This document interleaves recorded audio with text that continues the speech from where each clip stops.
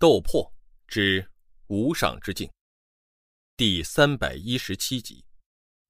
这支血红火焰剑融合了他们这整整一队人马的精血，其威力哪怕就是一个超级天才也无法接下。他们怎么都想不明白，为什么这个看起来斯文清秀的家伙竟有这么变态的实力？仅凭一把脱手的武器，就把他们最强的一招给破了。还有什么绝招，都使出来吧！没有了是吧？那就该我动手了。萧炎嘴角撇过一丝冷笑，抬手准备接住落下的天火横骨尺。就在这时，一抹黑色力芒骤然从公魔一族斗帝背后激射而出。这是一支短剑，剑尖呈六棱状，剑尾有黑色羽毛，通体黑色泛着绿光，一看就淬了剧毒。只看其样子。实在平实无华，根本不能与刚才那只巨大又华丽的血色火焰剑相提并论。但就是这样一支不起眼的黑色短剑，藏匿在血色火星中，悄然射出，带起的却是令人浑身汗毛为之一竖的森然劲气。这时机拿捏之巧妙，实在令人防不胜防。若不是有着半亿阶的灵魂之力，萧炎几乎感应不到这诡异的偷袭。可是，尽管萧炎感应到了，但当他反应过来时，这支毒箭已经距他近在咫尺，他根本没有取回天火横骨尺抵挡的时间。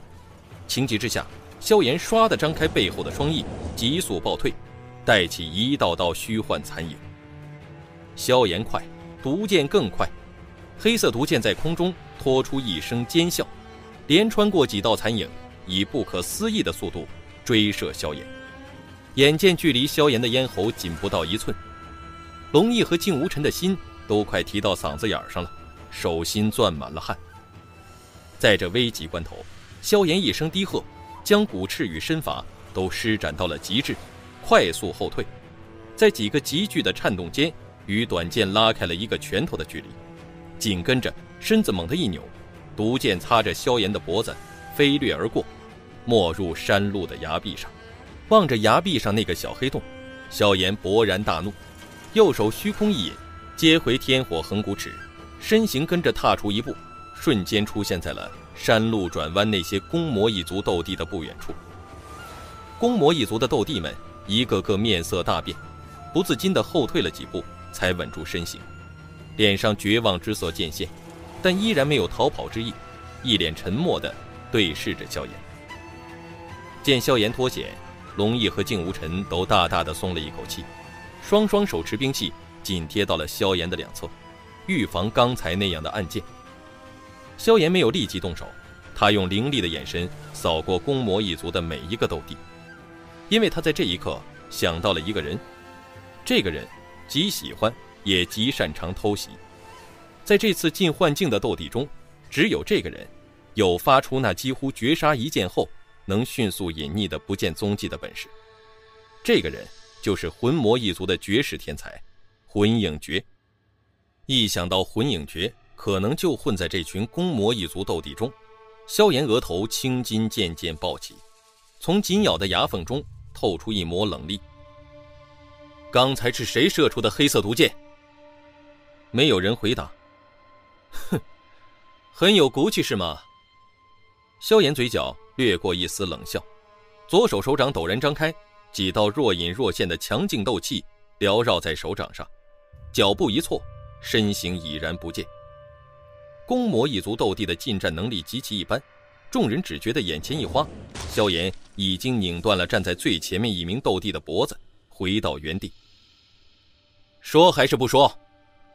萧炎继续逼问着公魔一族斗帝。眼睁睁看着萧炎在自己一队人面前行凶，公魔一族的斗帝们感受到了屈辱。在这一刻，他们愤怒了。不知道是谁带的头，公魔一族这对斗帝纷纷扔下手中的长弓，拔出刀剑，冲了上来，就要和萧炎拼命。哼，我真不明白你们为什么要替魂魔一族卖命？他们到底给了你们什么好处，能让你们公魔一族的年轻精英来送死？不过，既然你们冥顽不灵，那我就成全你们。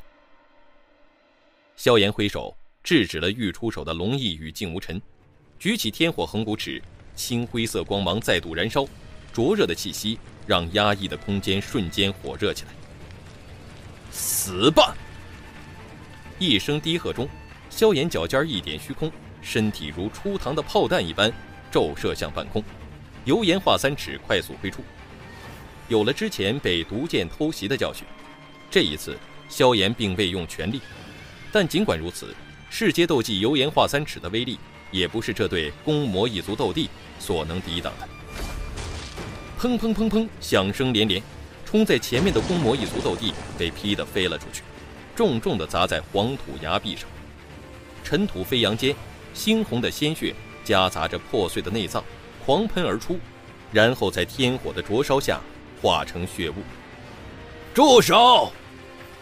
一道大喝声及时响起，制止了想继续冲上前的公魔一族斗帝。听到这声大喝，公魔一族斗帝尽管双眸血红，盯着萧炎就快要喷出火来，但还是停下了前冲的脚步，纷纷为身后大喝之人让出一条道路来。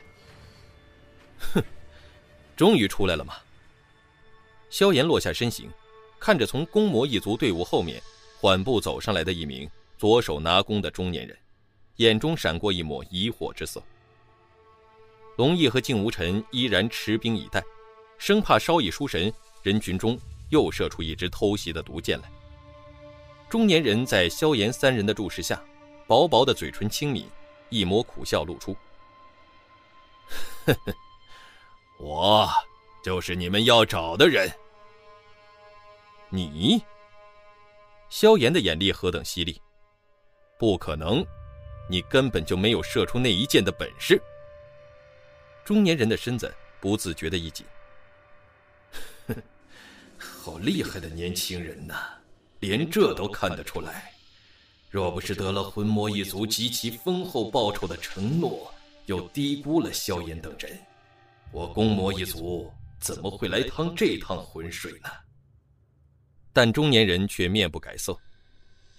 有没有那本事，不是你说了算的。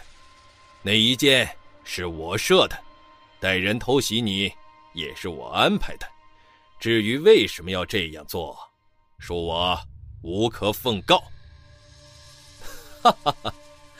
死到临头还想包庇元凶？莫非你公魔一族铁了心要跟着魂魔一族？与我萧族对立，哈哈哈哈哈！中年人就像听到了一个大笑话一样笑了起来。对付你萧族，我攻魔一族还用不着跟着谁。要不是有商盟和青浩然庇护，我攻魔一族捏死你萧族，就像捏死一只蚂蚁一样轻松。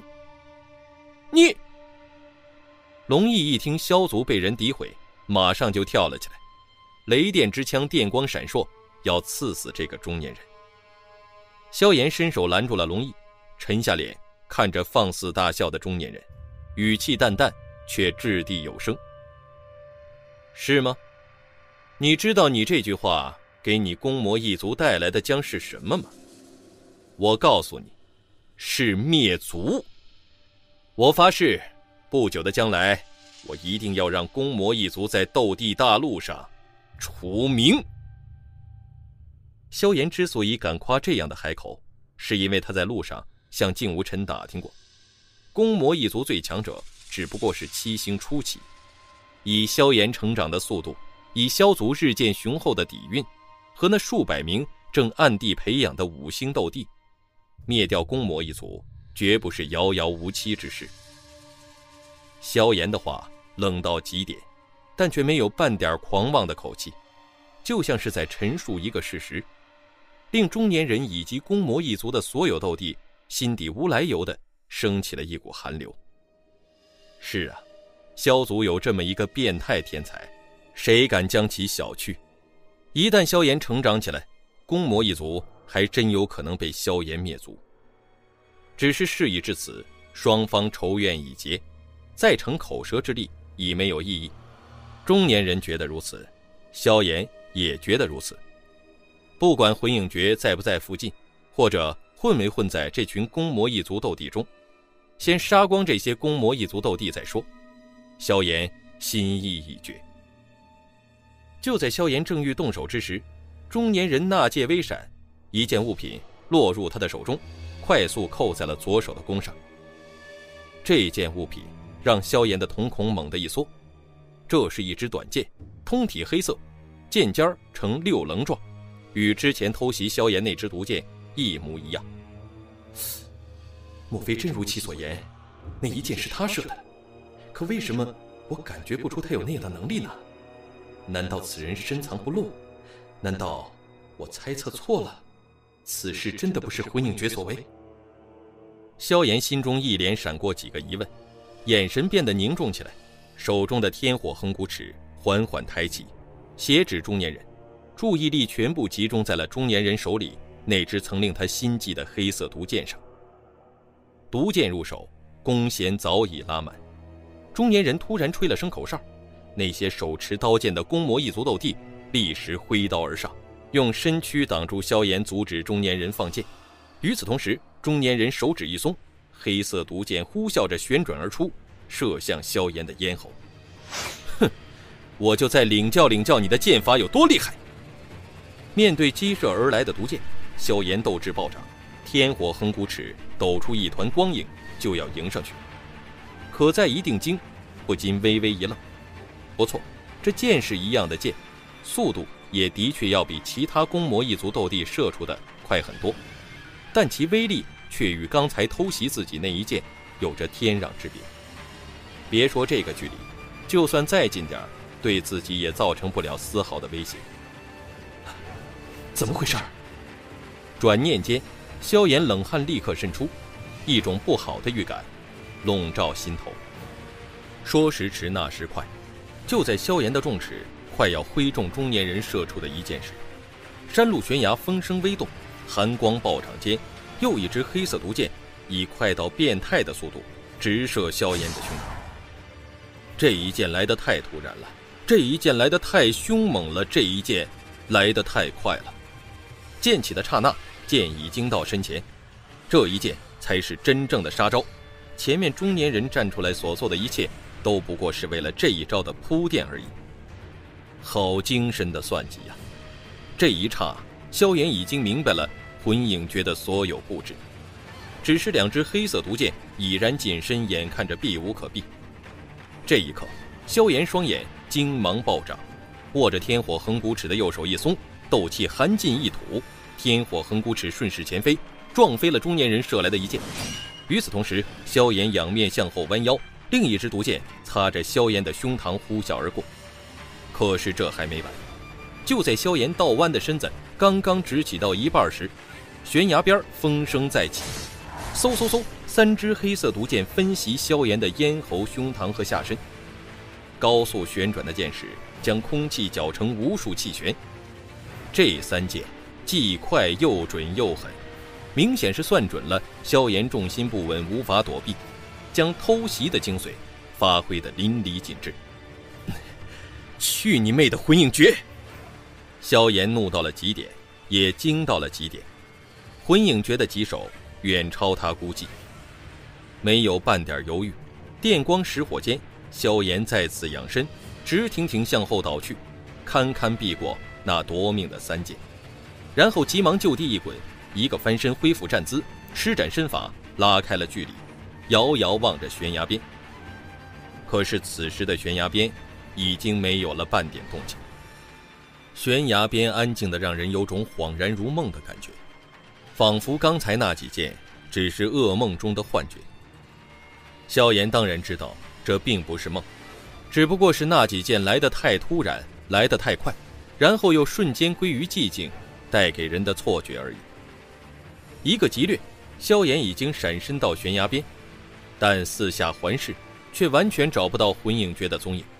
山谷中也没有见到下方的斗帝，因为上空有人飞跃而轰出斗气。只有山风穿行在谷中，吼起的几声呜咽。迅速将灵魂之力催发到极致，覆盖所能达到的最大范围。然而让萧炎心中一凛的是，和之前灵魂之力没有探测到魂影诀一样，这次依然没有探测到。不应该呀！